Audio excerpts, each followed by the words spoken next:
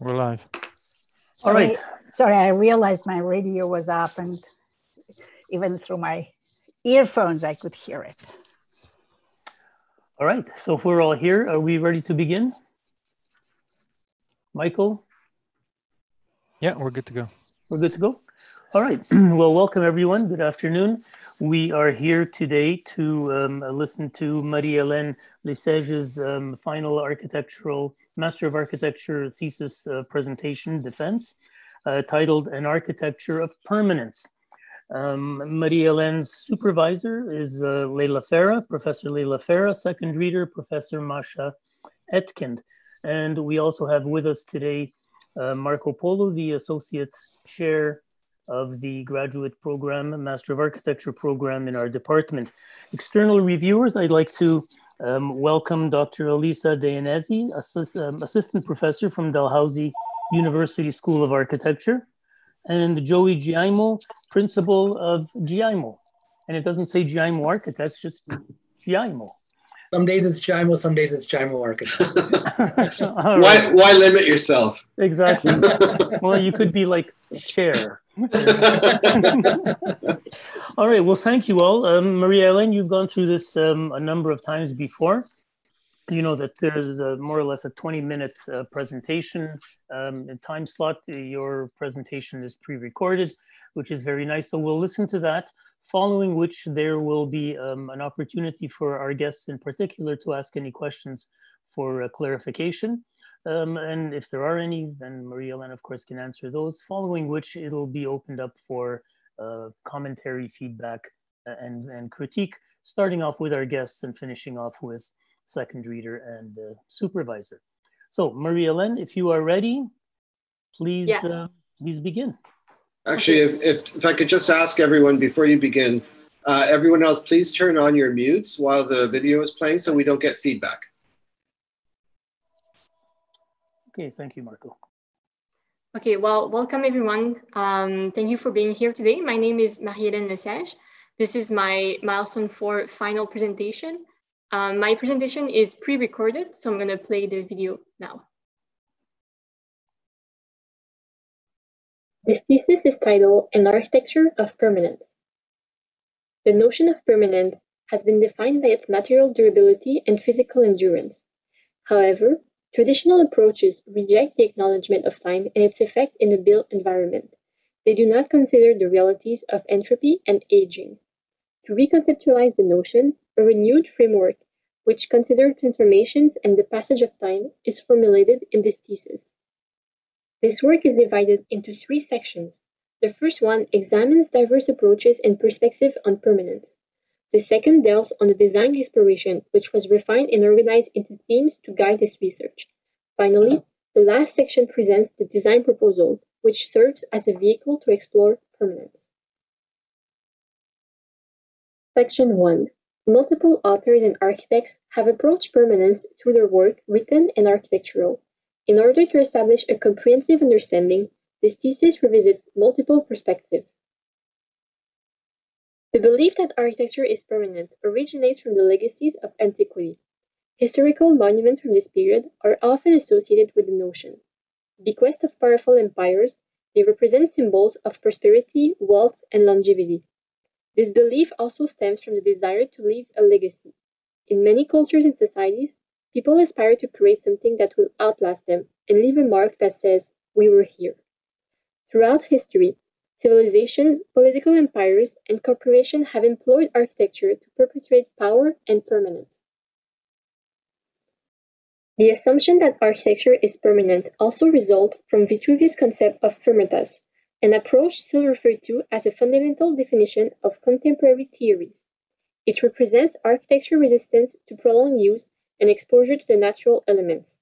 A building materiality contributes to a sense of permanence by its durability and defiance to gravity. Evidently, nothing lasts forever. Deterioration and decay are unavoidable through the process of weathering. As argued by Mostafavi and Leatherbarrow, weathering enriches the material's experience of time and adds to a building completeness. In Alois Riegl's perspective, the age value monument embraces erosion and aging as enhancement. Images of decay and weathering challenge the notion of permanence, They strengthen the passage and the experience of time in a fast-moving world. However, a rejection of this experience has been central to the traditional approach of permanence. The avoidance of weathering and aging is embedded in the fear of death and time. Karsten Harries argued that the act of building arises from the need to domesticate space. By constructing boundaries, humans seek to establish physical and psychological control.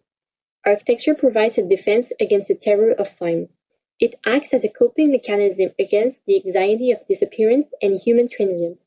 The consideration of time and its significance challenges the conventional definitions of permanence and material durability. The work of Peter Zumthor explores permanence through the analysis of traces and remnants from the past. Architecture is not simply affected by the vestiges of construction, labor, and craftsmanship. Subject to life, it bears witness of vanished lives. Places and landscapes are historical documents that reveal evidence of past usage and habitation. A revisited understanding of permanence must integrate perspective of change. As illustrated by the Japanese Ise temple, permanence can be embodied by cyclical rebirth as opposed to physical durability. Since the 700s, the shrine has been ceremonially reconstructed every 20 years. Through this ritual, building techniques and knowledge are passed to the next generation. The architecture is kept alive by the customs and traditions that surround and structure its existence. As it is embedded in the notion of time, permanence also expresses transformation and change. Jeremy Till argued that architecture is at all times marked by unfinishedness due to its transitory character. An architecture of permanence remains open to change even when complete.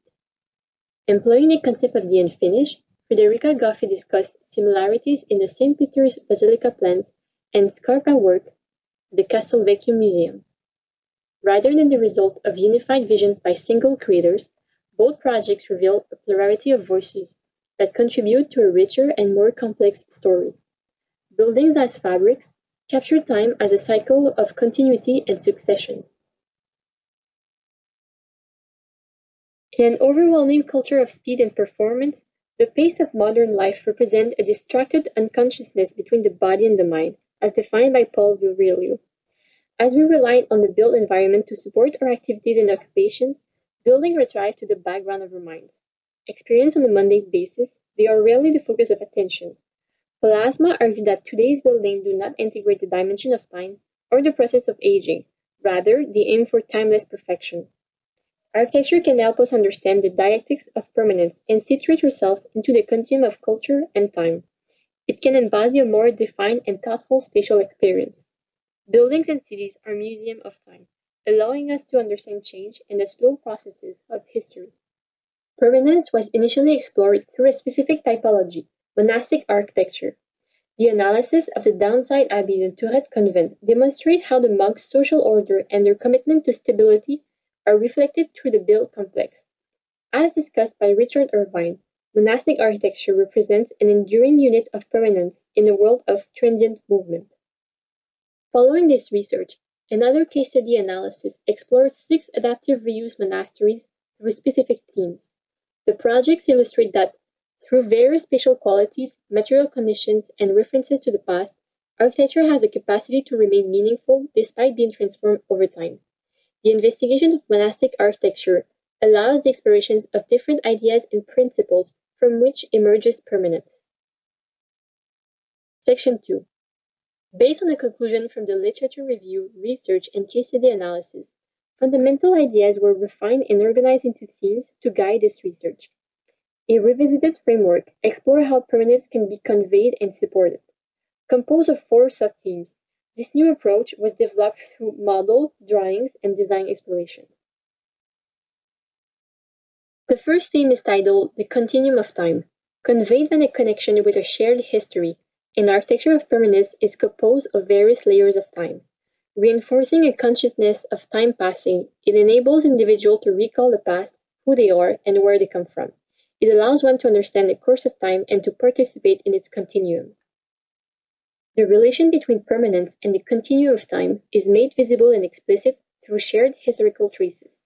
Whether physically present or less perceptible, they connect people with marks of the past, demonstrating the passage of time.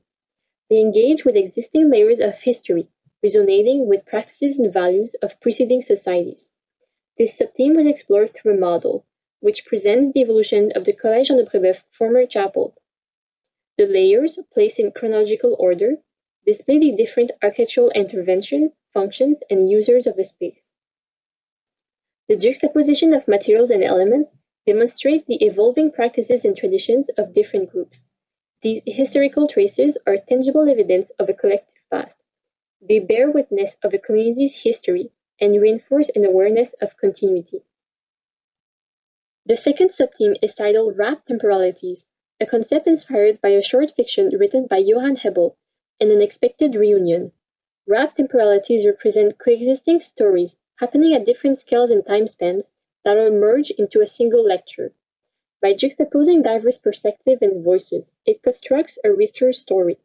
It allows one to develop personal connections within a collective history, helping one to situate its own presence into the continuum of time. The models are composed of two timelines, one subjective and personal, the other impersonal and historic.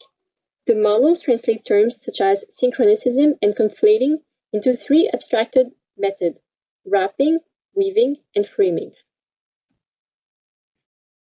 Permanence is often preconceived as immutable and physically durable. It implies the encounters of idealized timelessness, unaffected by the innate temporality of life. Referring to the unfinished, this subtheme argues for an understanding of permanence that integrates perspective of change and transformation. The model, titled Evolution of Practices and Ritual, stems from questioning the role of permanence in transmitting intangible heritage through architecture.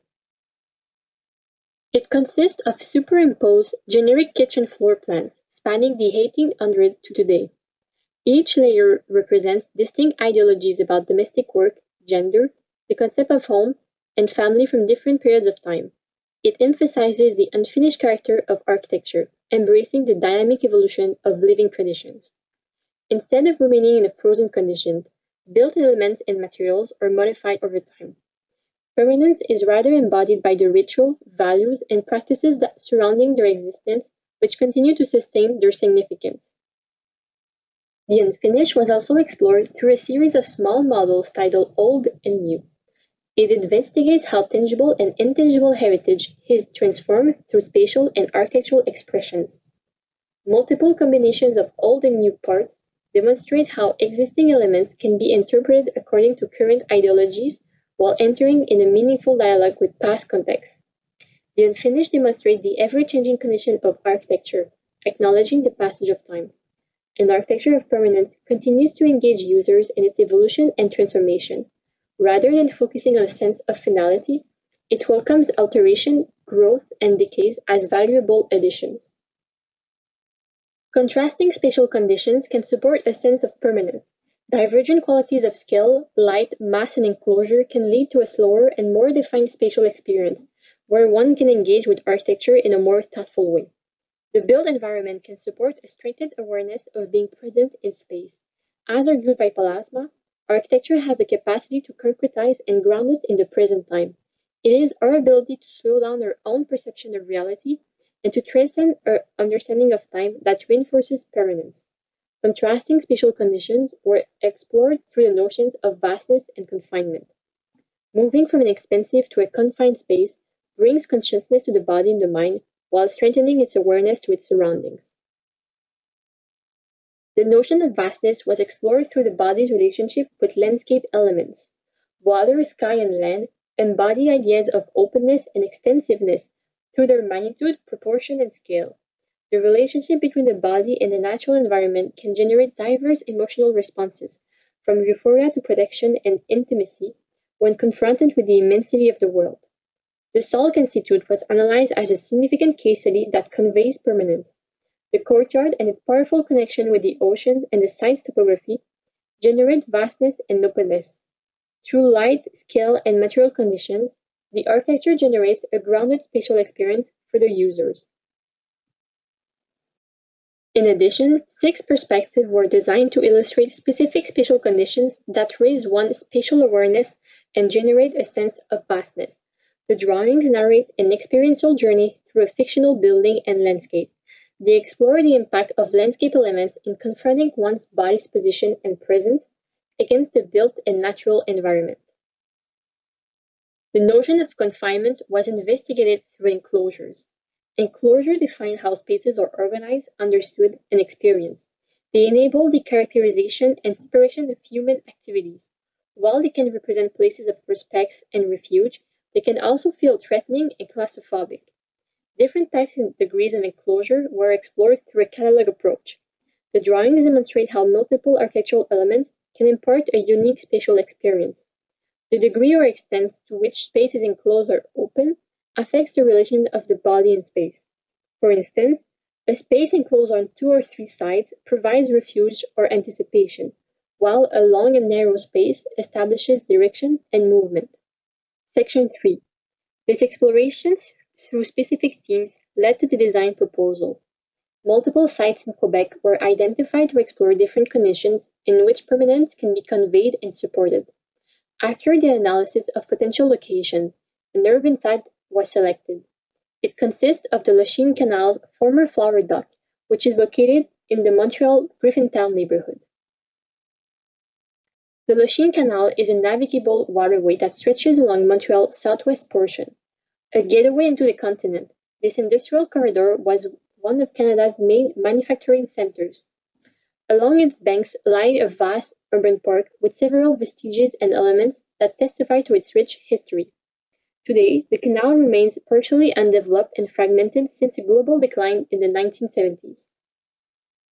Located in the Sud-Ouest borough, Griffintown was once a residential, predominantly Irish, working-class neighborhood. In 1959, the St. Lawrence Seaway's opening led to the canal's closure and the decline of its population. Industries left, schools and churches closed their doors, and several residences were condemned or destroyed. Today, multiple commercial and housing projects are being developed, and the neighborhood is experiencing a revival. The chosen site consists of the former flour dock located in the Peel Basin. Because of the presence of long barges that served to receive wheat and other cereals, they were called flour basins. Filled with earth and integrated into a vast green space the 1970s, the docks and basin have resurfaced into the urban landscape after the excavation in 2001. This engaging site was selected to develop a detailed build proposal that integrates the themes of permanence. Currently unused, the former flour dock remains left behind in an uncertain condition, surrounded by the contemporary towers and imposing industrial structures. Stone ruins of the demolished warehouses are still apparent. Within the design proposal, these elements of historic importance were preserved and outlined through architectural and landscaping strategies. On the former flour dock, a revitalized urban park exhibits a new vegetation palette composed of planted and spontaneous species. The warehouse's ruins bear witness to the importance of the wheat trade for the canal's history. Preserved, they allow visitors to experience significant traces of a shared past. However, they will not remain in a frozen condition, as vegetation will slowly take over the exposed surfaces. Inserted among the ruins, an elevated path stretches over the dock's length, guiding the visitors through the bill's installations. The Corten steel structure will erode and rust, witnessing human usage and the passage of time. The opal green pattern offers glimpses of the vegetation underneath, thriving at its own pace. Multiple routes stem from the main path, interlacing cultural artifacts. Alluding to Griffintown in the Lachine Canal past, the narratives enrich the proposal with heterogeneous perspective. Resting and sitting platforms are scattered throughout the site. Here, the visitor finds glimpses of beauty in unlikely places, where the landscape carries the weight of history with a distinct character.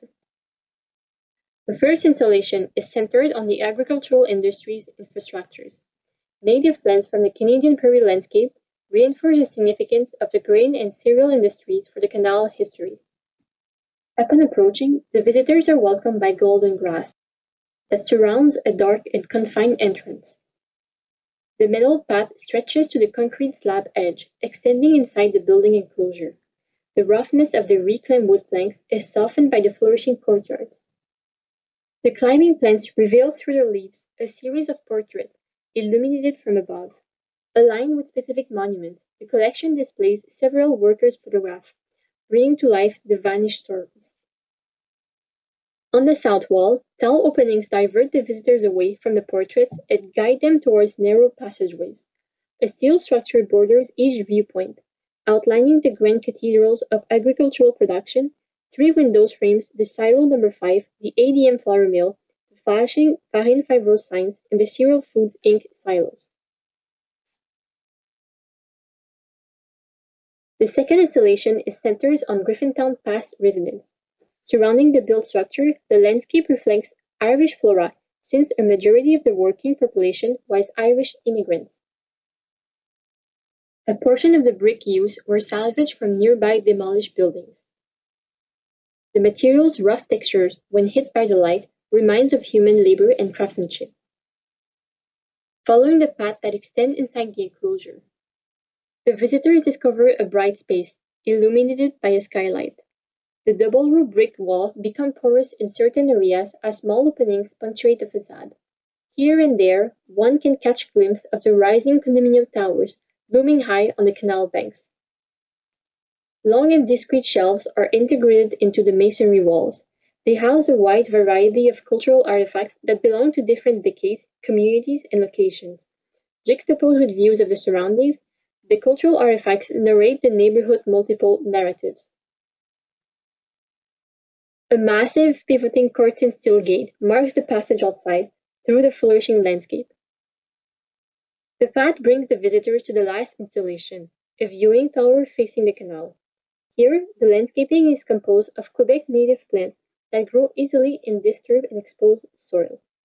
Metaphorically, they refer to the resilience and endurance of Griffintown's former residents, predominantly factory workers. The tall building is clad with reclaimed wood planks, that will weather and further blend into the surrounding environment. The metal staircase acts as an extension of the path, leading the visitors to the second level. Slender gaps in the facade offer concealed views of the surroundings, letting diffuse light in the enclosure.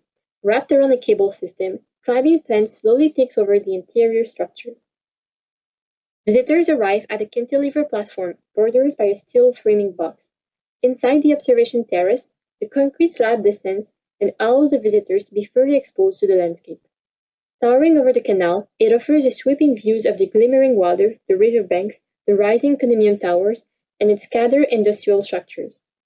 Turning right, a long staircase which blends with the elder installation directs the visitors to the site's furthest point and the last sequence of the journey. Here, several vegetation islands are integrated with eroded cobblestones a historical trace of the past still visible. Naturalized and introduced flora in Quebec animate the revived square, an assemblage of different materials, colors, and textures. A collection of metal tubes commemorates the countless shipping boats that have passed through the Peel Basin over the last centuries. They refer to the significant diversity of imported goods transported through the Lachine Canal. Combined with the last cultural artifact, it evokes an atmosphere bustling with activities from a long-gone era. The proposal creates an ongoing dialogue with past, present, and future landscapes and narratives. The built installations and new landscaping conveys a sense of permanence for the users. It engages in an architectural journey of discovery, pause, and reminiscence.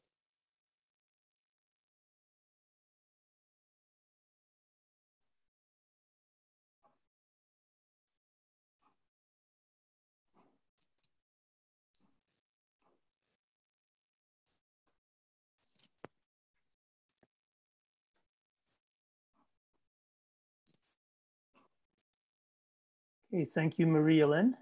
Thank you. Um, Did you, did you want to add something to uh, your presentation? um, no, I'm going to pull up the PDF of that uh, presentation um, to Okay. support the discussion. All right, so questions um, for clarification. Um, Elisa, Joey, anything that you would like to ask uh, Marie-Hélène? Yeah. Can I? Yes, of course, please. Um, if you can go back to the plan, the main plan for the project, Yeah. can you tell me again? I'm sorry. Um, what are the ruins about?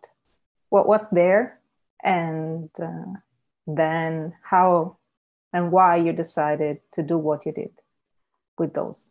Yeah. Um, so this um, peninsula was used to receive wheat and cereals from the boats. Um, and then those two gray rectangle, um, these are the ruins of uh, those warehouses that were demolished in the 1970s.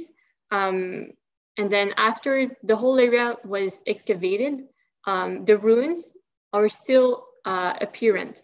So um, they're not in perfect shape and vegetation has started to take over the dock surface. Um, and so in my design proposal, um, I chose to highlight their footprints and preserve their the ruins um, because I think it's important to it, it, it is important to outline the um, the wheat trade um, industry for the canal history, and so I choose to highlight them in my proposal through architectural and landscaping strategies. So um, with the placement of the installations and the Corten steel path that goes in between and over the ruins, um, that's how I chose to uh, preserve them. Have you maybe used your theoretical models to do this? To decide, have you maybe used the, the models, your theoretical models, to decide what was the best strategy? Or at this point, the models were one thing and the design was something else? I'm just curious. Um, yeah, I I'm not sure I understand uh, the question. What models? You have beautiful models. I really like them about um, the shared historical oh, okay, uh, traces, yeah. um, temporalities. Okay. Yeah. Mm-hmm. You mean um, so in the design inspiration, the part, the section two of my thesis? Yeah. Okay. These models. Yeah. Yeah. Yeah. Um, so while I was um, exploring what permanence is in architecture and I was trying to uh, formulate my own approach, I did a, few models um, and then I used those from what I've learned through those models and those drawings. I've come up with those themes that helped me um, create the design proposal. So for example, in this model, I explored the importance of elements that endure in time and that are preserved and modify over time. And so it composed this theme that I've called shared historical traces. Mm-hmm. And so my approach um, is formulated through those specific themes um, to revisit permanence. Okay. Just to carry on from uh, Elisa's question. So you have um, you have the these, and I agree, they're very beautiful studies and models. Um, and you have these layers that you're showing, and, and, they seem to be layers of historical events um, uh, throughout time. And there's this kind of blurring. When you put them all together, there's this kind of blurring of these events to kind of create this whole new um, and very kind of distinct composition. Um, mm-hmm. So, and, and, I think this goes to uh, Elisa's questions like, how do these how do these translate to your final design? How you know how did you overlay your new design onto um, onto this kind of this strip, um, and how did it really influence you? And then for me, my what I'd like to add to that is um, how does how do the kind of the the, the tangible characteristics of the that kind of infill strip how do they other than kind of tracing out their their their layout how do they really inform um, your design. Mm-hmm. Okay, so if I start with um, this model, um, so this one represents the evolution of a, a, particular space and it was a project of adaptive reuse. So I was working with uh, tangible traces. And so the layers um, highlights very architectural and tangible interventions that you can see when you remove uh, the transparent layers. Um, and so in my project, because I was working with, I'm gonna go to the site plan. So since I was working with this almost bare surface, um, I look into traces that were not as uh, tangible or perceivable. So the ruins were one of these traces. Um, but I looked also into the, the influence of um, industrial architecture through uh, various structures that are still in the surroundings. Um, another trace was um, this influence by numerous groups of people that have uh, inhabit and work in the area. But since my project is, is not an, an adaptive use project, I've, I've tried to work with those traces in a different way. Um, and so for the ruins, I chose to conserve them because I think it's one of the, one of the, one of the important traits of the wheat uh, trade that is still visible on the dock. Um, those warehouses have been built and rebuilt since um, I think around the 1850s uh, on this peninsula. Um, and it, what remains is this kind of form that hasn't been really uh, preserved. Uh, so it kind of started to disappear with the vegetation. And so my goal wasn't, wasn't to keep them in this frozen state, but to just let them be on the dock and um, with the path, people could walk around and observe them, but also see that um, they are evolve, evolving with the present context of my intervention. I think that it's what what is very interesting. There are very there are several interesting points in what you you are presenting today. Um, if I look at this, I see the different layers overlapping, um, blurring into each other, the vegetation growing over something. Um, but I, I mean, I don't see it from the drawing maybe right now, right? I need to ask you to understand where this comes from and how it connects with the, with your theoretical um, investigation in a way.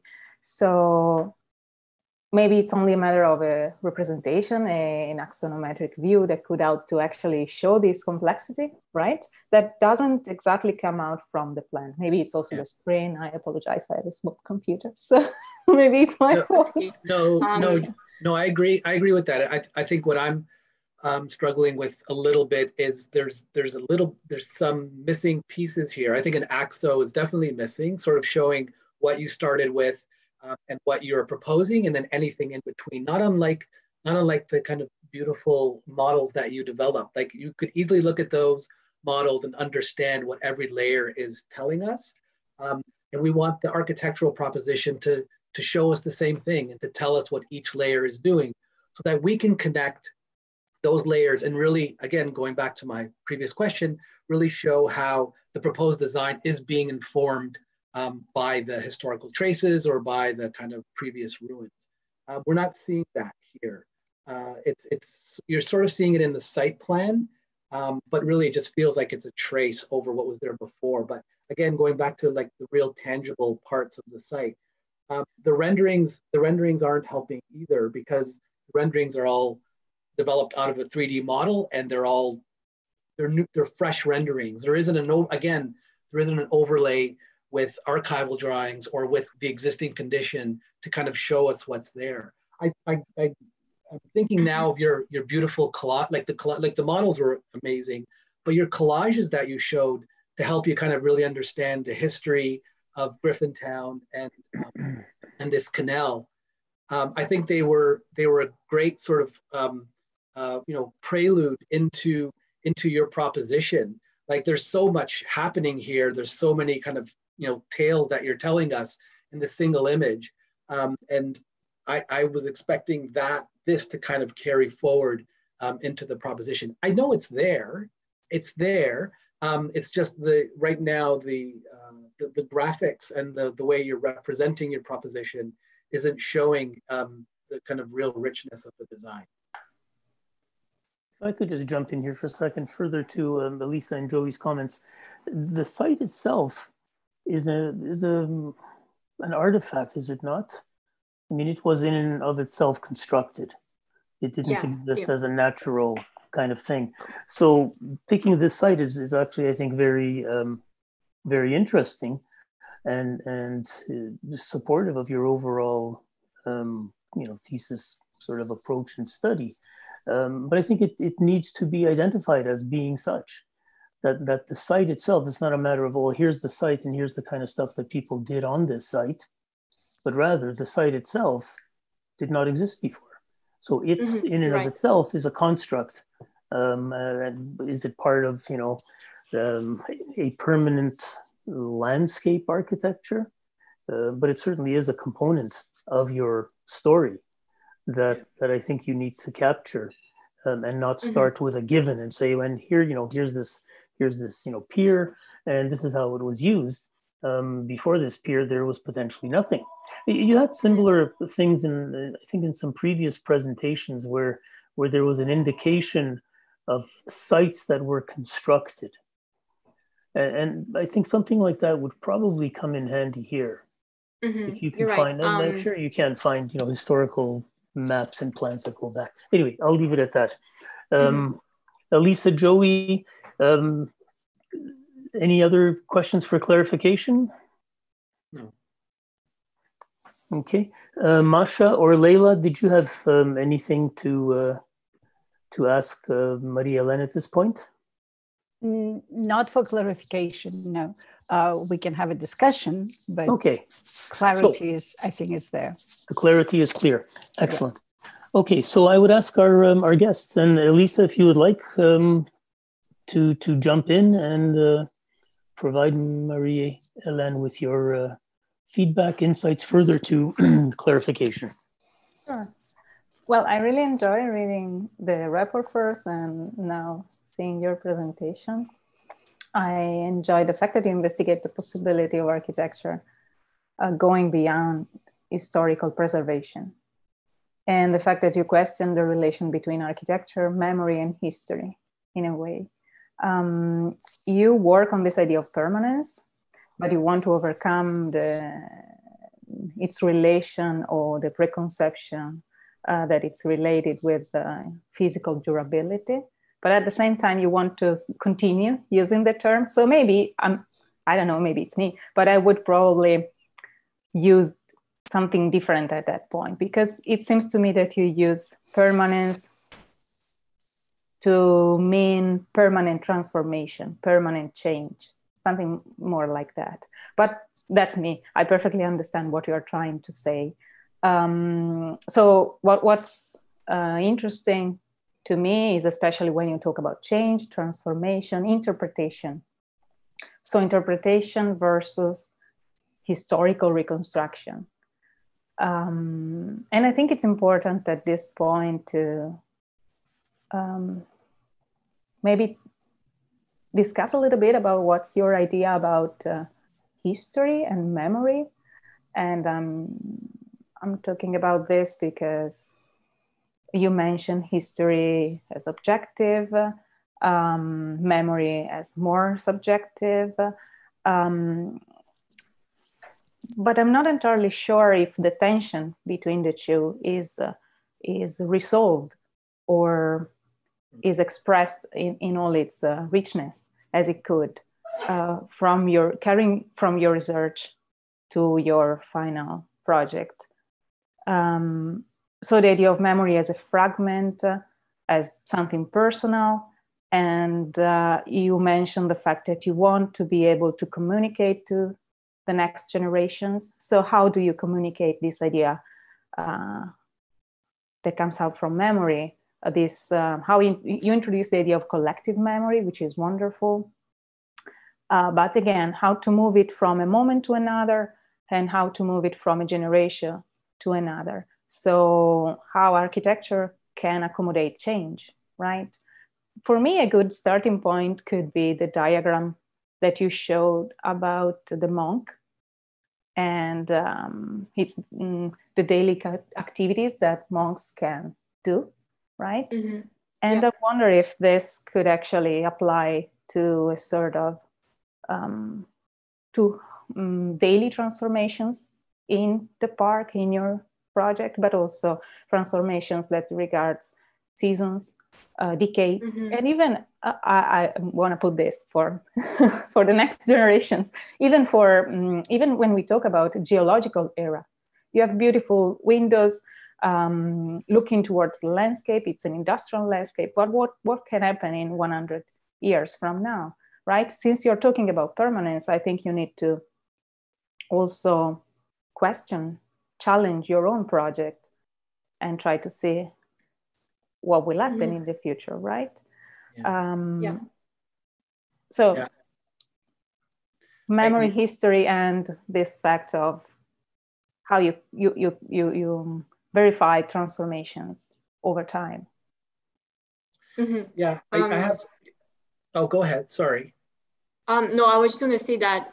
Yeah, I've I've looked at transformations mainly through um, vegetation and how it would grow over time, but I think um, another step at for this project would would, would be to see um, how it would look in 50 years or 100 years. But yeah, it's a good point. Yeah, um, so I just want to step back and congratulate you on uh, this work. It was, uh, you can tell from uh, your submission that um, it was a very long and very uh, like a rich process that you went through. I, I kind of admire that um, it wasn't a very tidy process. Like there isn't this, it wasn't this kind of carefully curated, um, carefully kind of curated process where um, everything kind of made sense from the beginning to the end. There were a number of moments where things kind of didn't make sense. And I, and as I was kind of reading through it, I was trying to understand, you know, directly how the kind of monastic research tied into your final piece. And it doesn't, it doesn't exactly tie in, and it doesn't have to. You, there was a search there that was evident. Um, and I think that that search and where you arrived at, um, I think I really kind of appreciate that part. I think, you know, in all kind of thesis projects that the process is so kind of critical. Um, and, you know, I think sometimes even more critical than the, than the final piece. Uh, going back to your, your thesis statement, which is, you know, how, how permanence can be conveyed, supported uh, by considering transformations, passage of time through a renewed framework. I think I understand how, um, I, I, understand how um, that statement is coming through in the design proposition, but I think like Elisa, I'm struggling a little bit about, um, about permanence and what your idea of permanence in, is. Uh, because you're you're propo- you're you're saying that you want to kind of uh, redefine or rethink this idea of permanence. Um, you're moving away from architecture and you're giving us you know, you're giving us follies and you're giving us landscape, um, giving us landscape urbanism as a kind of discipline, um, and you kind of shifted away from architecture. So what does permanence, what is permanence to you? Is it, and is it the evolving landscape? Because again, the final piece is showing us a snapshot of a very specific time. We don't know what that time is. Is it the landscape over five years? Is it the landscape over 100 years? Um, and why are we only seeing a snapshot of it? Is this the ideal scenario? Um, then is this, this the permanence that you want to convey? Um, because the permanence for me, especially when it comes to landscape, it always like there's it's it's hard to sort of define, and landscape is always evolving and always flexible, unless it's very, very um, strictly curated um, and edited. Which I don't I don't know if that's what I don't think that's what you're trying to kind of what you're trying to propose. Right. So um, the idea with the landscape is that although I've created, you know, some types of plans and how they would be arranged, the overall idea was that um, it would grow at its own pace and it would kind of take over in a more um, chaotic way than one that is uh, perfectly structured. So um, that's one way that I've tried to uh, translate permanence into landscape architecture. Um, in terms of you know, strictly architecture, um, I have those three installations. Um, and I chose I chose to build installation because um, although I'm talking about change and things that are modified, I'm I was also looking to build something that could uh, be more permanent and endure time, even though it could be modified it could still it could still become a new traces on site. So that's what the three installations represented. Um, so in 100 years, do you see them going away? I mean, they're, you know, even though they come across as robust in scale, they're actually mm-hmm. somewhat delicate and probably not unlike, you know, the structures that were on this, this strip before. Mm-hmm. So do you yeah. see these going away, being taken over by, you know, your, your nature or this constructed um, nature? Certainly. So I've tried to work with this connection with the landscape being integrated inside the enclosure. So they're all um, somehow not fully enclosed. Um, you know, there's no there's no doors, and some of them have you know like climbing plants climbing plants that are taking over. So um, in 50 years, um, I see that uh, being first uh, modified by the landscaping, but also by human usage.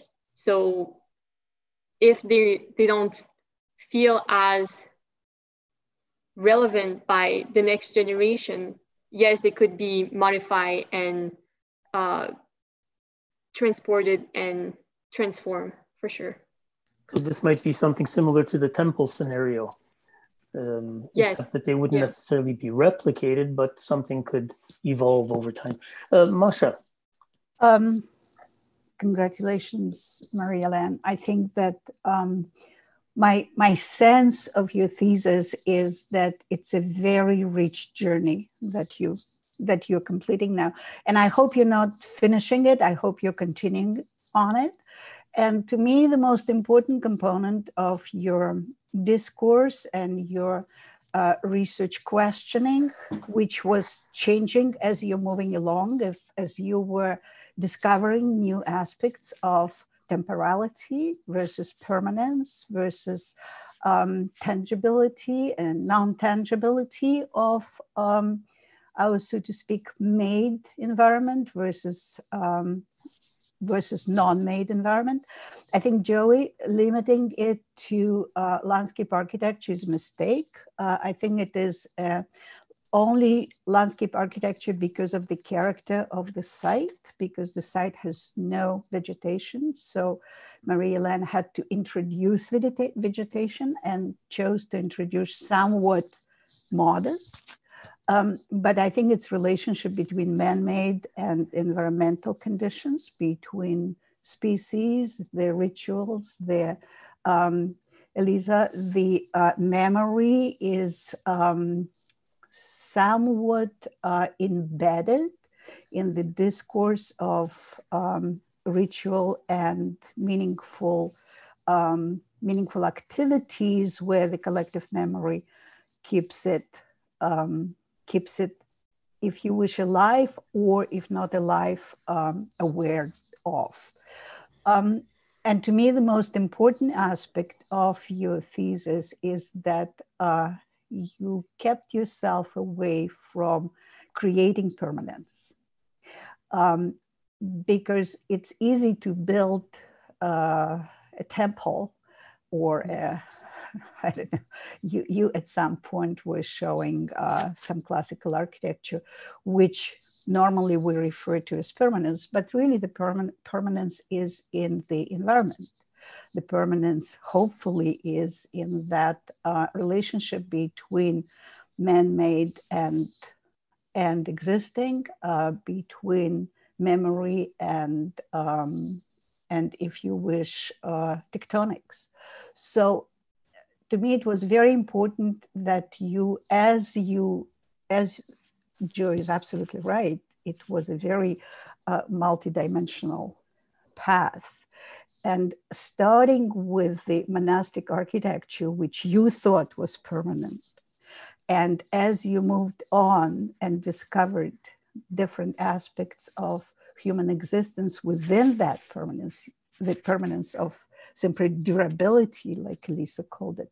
Um, what you discovered is that the permanence is in relationship, in this balance between, and whether you put it on Lachine Canal or on the, uh, as we discussed earlier, the site on um, Toronto Harborfront, it's in that it's in that balance of relationship that the permanence lays, and um, this this tangible environment and non-tangible narrative to me that's what the real meaning of your thesis and i congratulate you because it's not at all a superficial view of what heritage and what preservation and what memory and what collective memory and what history is congratulations maria Okay, thank you, Masha. Leila, can we give you the final word, um, keeping an eye on, on time?